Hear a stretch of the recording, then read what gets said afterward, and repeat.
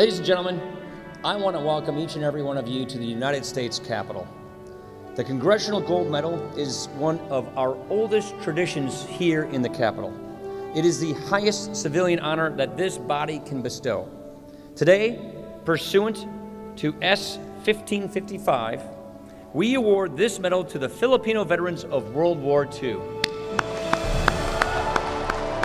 Over 250,000 Filipino men responded to the call of then President Roosevelt to join the U.S. Armed Forces in the Far East to defend democracy during World War II. Millions died during this war, but for the thousands who survived, sacrificed, and risked their lives, their recognition came in 75 years later. On October 25, 2017, a Congressional Gold Medal was awarded to the Filipino World War II veterans by the U.S. Congress, and this is the highest civilian award given by the U.S. government. What does this Congressional Gold Medal mean to the veteran, to their families, and to the immigrant community? Join me in today's episode of Pusong Pinoy sa Amerika as we hear them talk about the significance of this Congressional Gold Medal. Ako po si Attorney Lou Tancinco, ang kabalikat sa paghubog ng iyong kinabukasan sa Amerika, sandigan ng bawat mamamayang emigranteng Pilipino. Ito ang Pusong Pinoy sa Amerika. Pusong Pinoy sa Amerika Kasama ng bawat isa Sandigan ng mamamayan Kabalikat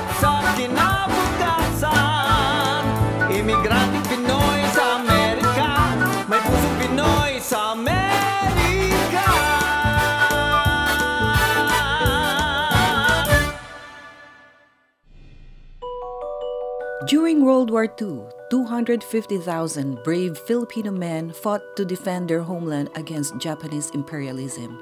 U.S. President Franklin Roosevelt promised full military benefit for their services. But in 1946, the Rescission Act was passed, stripping the veterans of their full benefits. Since then, the Filipino veterans fought for their full recognition and equity. Several bills were introduced, but no equity bill has been passed to this day. In 2009, the Filipino Veterans Equity Compensation was passed into law that will provide lump sum of $15,000 to Filipino veterans in the United States and $9,000 to the veterans in the Philippines. Yet, around 40% of the applicants were denied compensation because their records of service are missing. Kumusta po kayong lahat? Isang malaking karangalang ipaalam sa inyo na ang Department of Homeland Security ng Estados Unidos ay inihayag ang tungkol sa programang parol para sa mga veteranong Pilipino ng ikalawang digmaang pangdaigdig o FWVP. In July 2016, the Filipino Veterans Parole Policy Program was implemented by the Obama administration to help unify the families of veterans. But many are not able to avail because of their inability to meet the legal requirements. And recently, on December 14, 2016, the Filipino Veterans of World War II Congressional Gold Medal Act of 2015 was signed into law awarding a Congressional Gold Medal collectively to Filipino veterans of World War II. To many veterans, this came too late, but for those who are around, this medal has a deeper meaning to them as they recall their services during the war. Lourdes Poblete. Lourdes Poblete was only 18 years old when she joined the guerrilla unit in 1942. When the war broke out, my dad left to join the military and went with the Bataan to fight the Japanese. In 1942, it was the fall of Bataan, and a family friend who escaped from the death march went to Mindanao to talk with Colonel Wendell Fertig.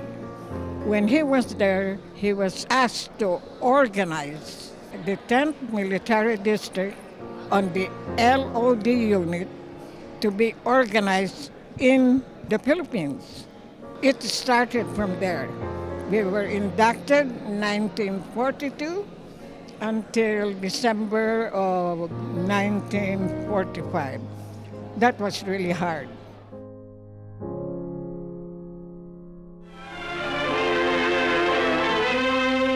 My job was the propaganda corps.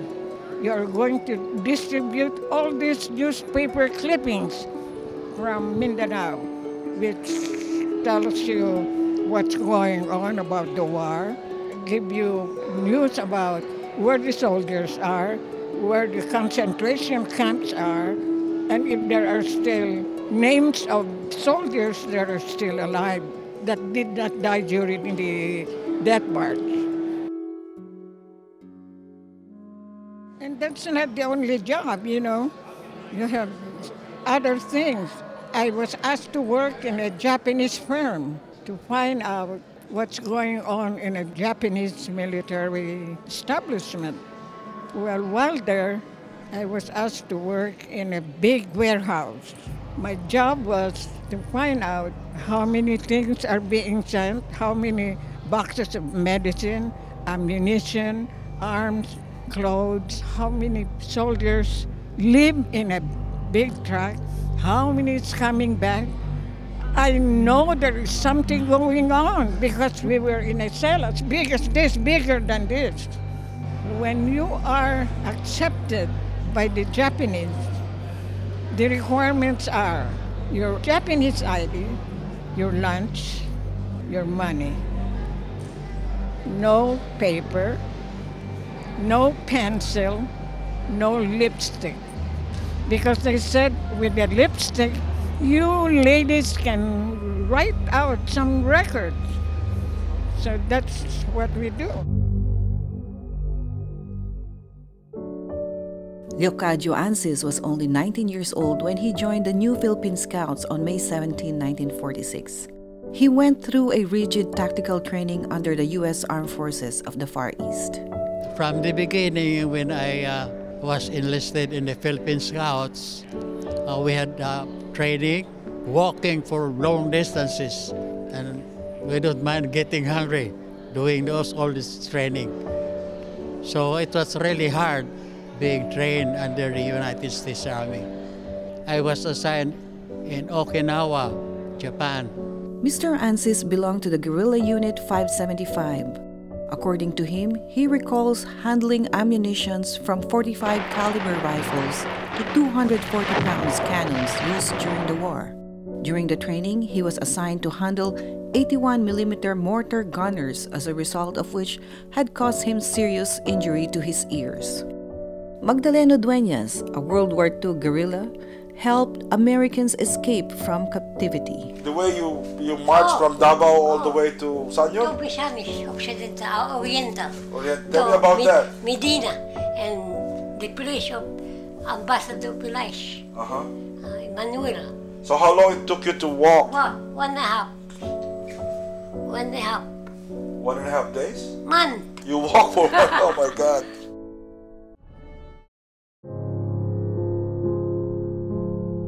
The recognition of the sacrifices and bravery of the Filipino veterans took place only after 75 years. Luis Antonio, Executive Director of the Veterans Equity Center, described the lobbying efforts taken for the veterans to receive this recognition.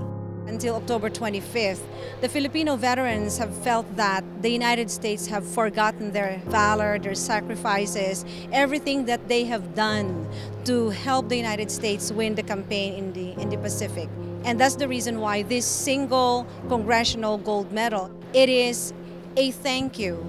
It is a symbol that the United States is saying we recognize your service and we would like to thank you for the sacrifices that you have made for this country. In 2000, when we were starting advocating for the equity bill, there are only few ways to reach out to the congressional representatives. You need to make your phone call, you need to fax. But this day and age of social media, it made the advocacy and it made this campaign a little bit easier it was easier to reach out to congressional representatives through change.org, Twitter, and social media. So I believe that those different ways that we have used to advocate really did, you know, a major difference in making sure that, you know, we garner enough support to pass the uh, congressional um, gold medal legislations. Major General Antonio M. Taguba, retired U.S. Army and a son of a Filipino World War II veteran, led a group of Filipino veterans advocates nationwide and organized the Filipino Veterans Recognition and Education Project, or the FilVetREP. With more than 30 national organizations and veterans advocacy groups, FilVetREP's 11 board of directors and his executive committee all work together to push for the passage of this congressional gold medal. Finally, the formal ceremony awarding the gold medal took place on October 25, 2017, at the Emancipation Hall of the U.S. Congress at Washington, D.C. We all witnessed a bipartisan support from the legislators in recognizing the Filipino World War II veterans. Present during the event were congressional leaders of both the House of Representatives and the U.S. Senate. Let us pray. 250,000 Filipinos answered President Roosevelt's call to duty. Most had no formal training.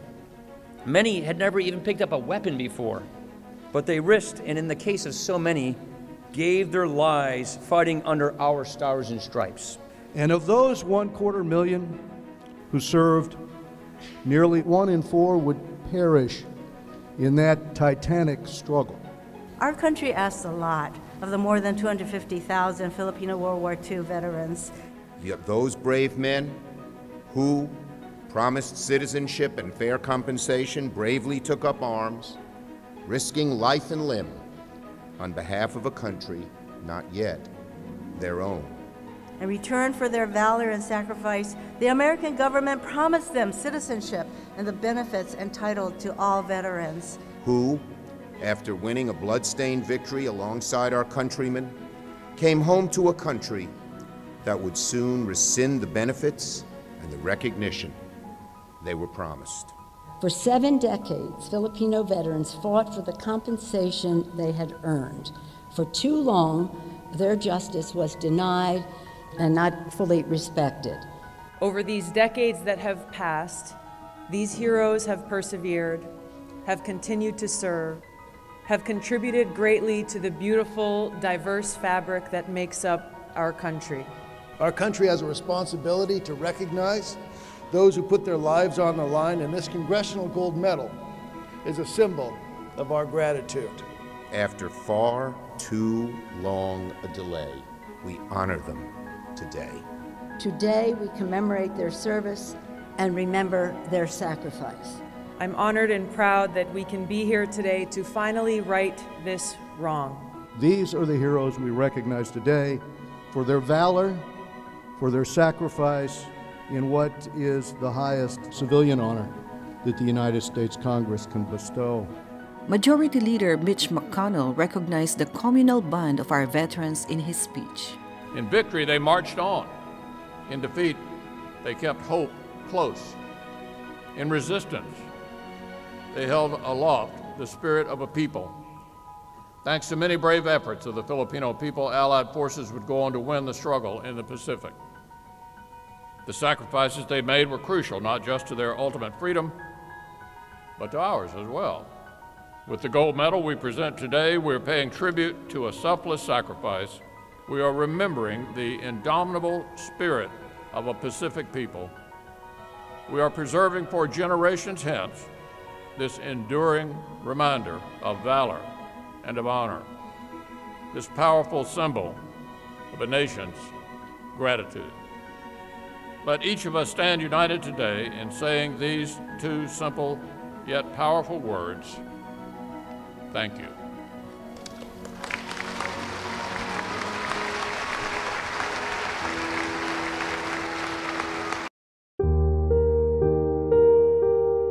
More than 500 veterans, families, and supporters were present at the Emancipation Hall, Capitol Hill, Washington, D.C., to witness the presentation of the Congressional Gold Medal to our Filipino veterans, the highest civilian award given by U.S. Congress. This event that took place shall be part of our written history so that the next generations will understand the value of the contribution of our Filipino soldiers during World War II. We can influence history being written. If our history is not acknowledged, we need to fight hard in order to rewrite history with the truth. So it's important for us to learn about our history in the past, but also seek to learn from previous generations on how to continue to advocate for wrongs in the past and how we continue to advocate for our issues moving forward. The passage into law of the Congressional Gold Medal for World War II veterans is attributed to a bipartisan support. It is an indication that in these days and times, it is still possible to set aside differences in support of common good, such as the effort to honor our heroes. We have some different our differences, but on this and coming together in support of this recognition, we were all together. So I'm proud of this moment.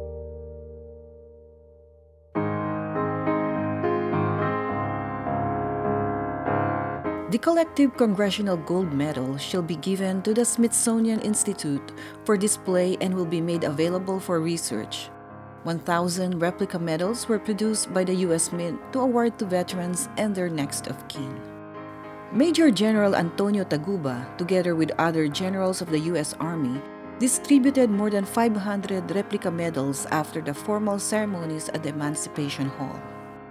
Since the population of this greatest generation of veterans is quickly diminishing, the next of kin of veterans were allowed to receive the replica gold medals. To kin Jan Lore Bruin. The youngest recipient of the gold medal that day was John Lore Bruin, 22 years old, who was happy to receive his medal for his 91-year-old veteran grandfather. I'm so overwhelmed and this is my this is it moment for you know to repay my grandpa. The historic event ended with a gala dinner hosted by FilVetREP where more than 500 guests from all over the country celebrated the historic event. They earned every bit of those congressional gold medals. Thank you to our veterans of the Filipino heritage tonight. Since most of those veterans who wanted to travel to the capital were not able to come, San Francisco Mayor Ed Lee and the FilVetREP held an awarding ceremony of the Congressional Gold Medal at the City Hall of San Francisco during the Filipino Heritage Month. Lourdes Poblete. 93-year-old veteran Lourdes Poblete was one of those who received the gold medal at the San Francisco City Hall. I was very much surprised, but I felt very honored.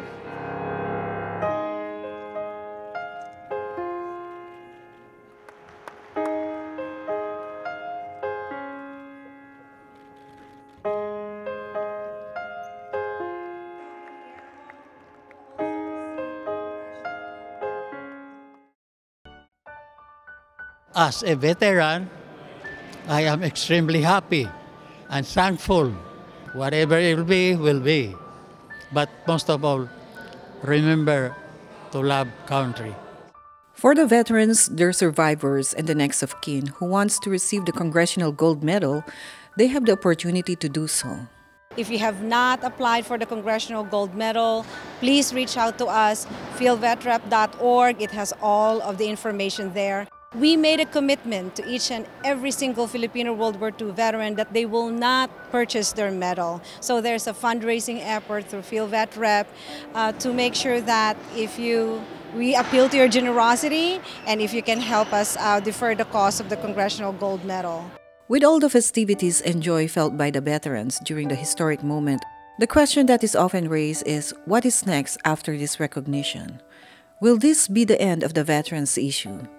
Washington, D.C.'s longtime veterans advocate and political consultant Irene Bueno gives her opinion on the significance of this event. Become a citizen, register to vote, and then help to fight the future fights, which are making sure that, um, that the family members can join the veterans here in the United States, make sure that the veterans who still haven't got it, gotten any kind of benefits get their benefits, and to undo the Rescission Act altogether, because that was wrong. Also doing the curriculum development through the Bataan Legacy Historical Society and the Filipino Veterans Recognition Education Project, which I'm also a member of. I'm really hoping to do that because I am on the advisory committee for, for both.